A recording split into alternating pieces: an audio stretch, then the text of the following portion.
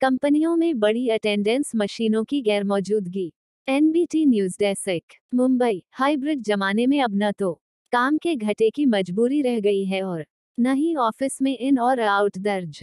करने का झंझट अटेंडेंस दर्ज करने वाली मशीनें कभी बेहद अहम होती थीं।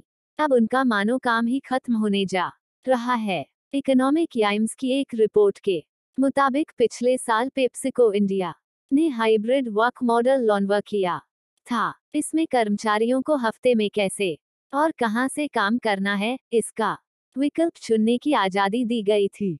उन्हें आईडी कार्ड की ज़रूरत ऑफ़िस से जुड़ने के लिए पड़ती है अटेंडेंस मार्क करने के लिए इसकी ज़रूरत नहीं पड़ती। पेप्सिको में C H R O Pavira Singh नियम में दी गई ढील पिछले साल पेप्सिको इंडिया ने हाइब्रिड वर्क मॉडल लॉन्च किया था। मीशो के आशीष कुमार सिंह कहते हैं कि हमारे यहाँ भी स्वाइप इन और स्वाइप आउट की ज़रूरत कभी नहीं रही।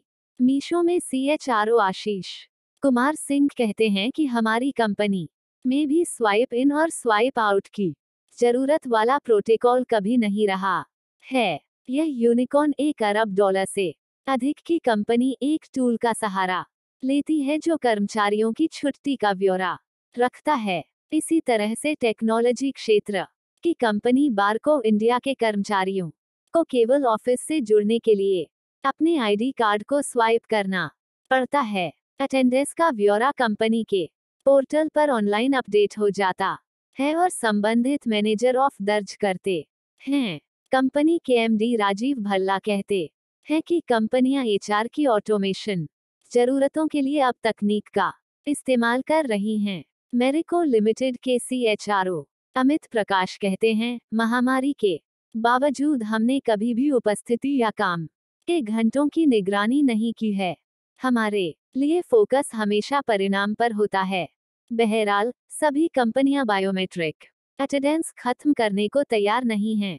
वेल्सपन के ग्रुप सीएचआरओ राजेंद्र मेहता कहते हैं, एक सफल हाइब्रिड मॉडल की पहली ज़रूरत है कर्मचारियों को कई टच पॉइंट और मोड दिया जाना। कहती हैं, अपने कर्मचारियों के काम, के घंटों और उनके ऑफ़िस आने तथा, ऑफ़िस से जाने पर नज़र रखना कभी भी। हमारी फितरत नहीं रही है और न ही इसे, कभी लागू किया गया है। हमारा मानना है कि ज़िम्मेदारी के साथ काम करने में, आज़ादी देने से विश्वास के माहौल को, बढ़ावा देने और उत्पादकता को बढ़ाने में, मदद मिलती है।